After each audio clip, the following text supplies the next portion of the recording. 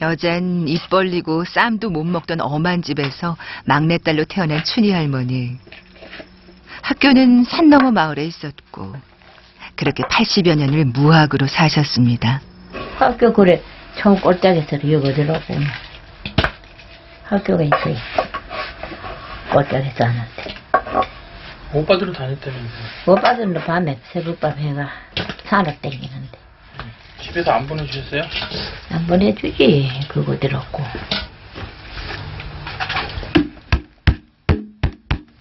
그때 속사하는들도 뭐 오빠 막글 배워야 되는 줄 알고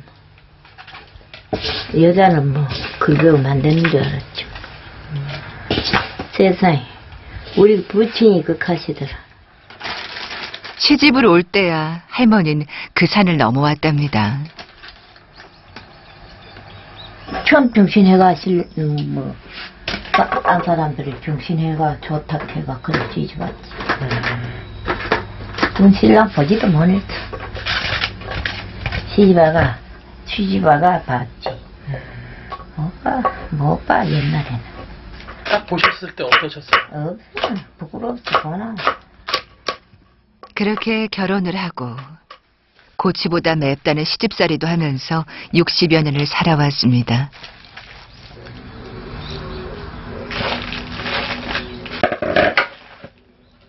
맵대.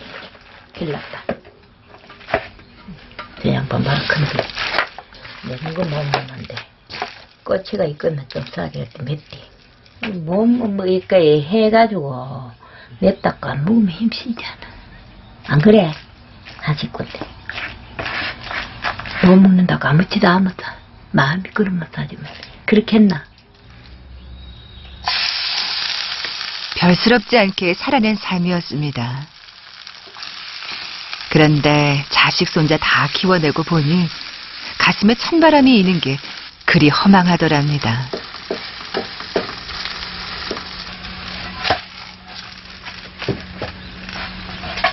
반갑이 넘으면서는 복지관을 다녀보고 손녀의 동화책을 들여다보기를 몇 년.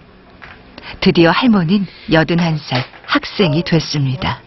이 계란 들었죠? 다 들었어요. 다. 이게 위에 끓고 처음 뭐에 끓어가 많이 들었어 그래 이게 아, 계란 듭니다. 좋은. 공부를 많이 한 남편은 누구보다 그런 아내를 이해해 줬습니다. 자, 얼마죠? 맛이 어떠세요? 할아버지? 그런 대로 맛있네. 100점 만점에 몇 점이요? 몇점 이렇게 다음에도 얻어먹지 그래. 맛있나 시간 나 맛있어요. 81살 아내에게 본 늦바람 덕분에 90살 학부형이 된 남편. 심심하던 날들에 변화가 생겼습니다. 밤마다 할 일이 생겼죠.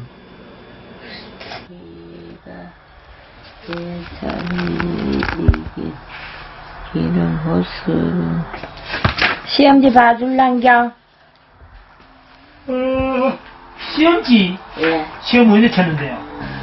그, 2학년이라곤 해도 봐줘야 할 공부가 한두 가지가 아닙니다. 과학인데. 가짜 개짜 했는데요. 그짜 개짜라 개짜 하고요. 과학에 이거는 목 요일 교 요일. 목요일 목요일. 알죠? 목요일. 이거는 목자 기억하면 되나? 아 자지 말고 이거 한번 해봤어. 이거를 보자 뭐더라. 재미있게 읽은 책은 홍길동입니다. 90살 남편의 과외도 끝났습니다. 하지만 81살 열혈 학생 공부가 끝난 게 아닙니다. 그럼 또 뭐예요, 할머니? 구구단에 가. 구구단 유기. 풍산도 왜 배우세요? 응? 구구단 왜 아야 그 영어를 저기 저기 수학을 하지. 이렇게 자다 깨다 할머님 밤새 공부를 하고 못다 쓴 일기를 씁니다. 9, 45, 9, 6,